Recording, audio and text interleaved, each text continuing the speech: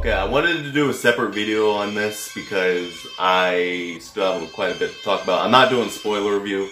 I wanted to, but thinking about it, this can be a whole video in and of itself.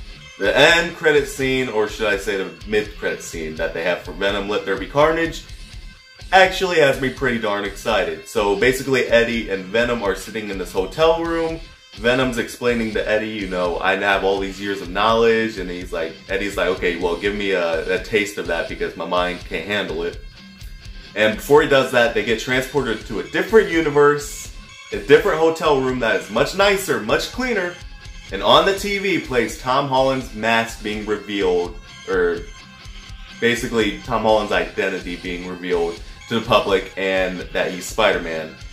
And when Venom walks up to that screen, he looks at him and he says, that guy, and he licks the screen. Venom is going to be temporarily in the MCU. Now, what does that mean going forward?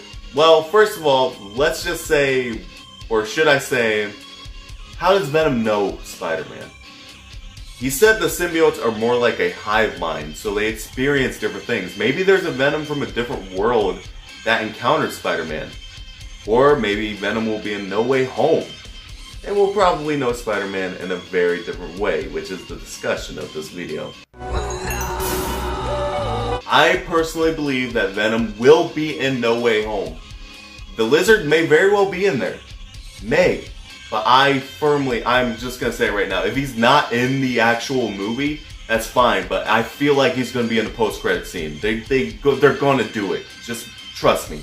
He basically said the symbiotes are like a hive mind. So my biggest explanation that I have for that as to why he would know, maybe not that Spider-Man, but he knows Spider-Man, is because remember, the symbiotes are like a hive mind, and the biggest theory is that Tobey Maguire and Andrew Garfield are going to be in No Way Home. Of course, if Tobey Maguire is in No Way Home, think about what that means.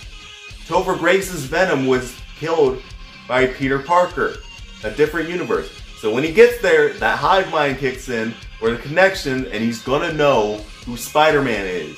So that's why when he looked at the screen, he said that guy, and he has animosity towards him. So I cannot wait to see when Tom Holland Spider-Man and Tom Hardy's Venom meet together and they clash. The other theory that I have is once Venom gets his hands on Spider-Man, I don't think the symbiote's gonna get on him.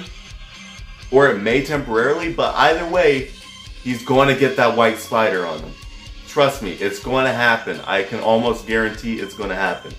Because once he encounters them, he gets some of those Spider-Man abilities. That logo is going to be there, and then he's going to officially become the Venom that we just look at and we're like, oh, that's definitely the Venom. Either way, this was a smart move on Sony and Disney's part. This is something that's going to have the fans excited I still wish, and I'm telling you guys right now, I'm still hoping that one day, which we probably won't, but one, just one day, we please get an R-rated Venom because that's something I feel like we're missing. But for now, what you guys think? Ah, I I loved it. Comment below, let me know, and as always, like, share, and as always, subscribe today to join the Isaiahization.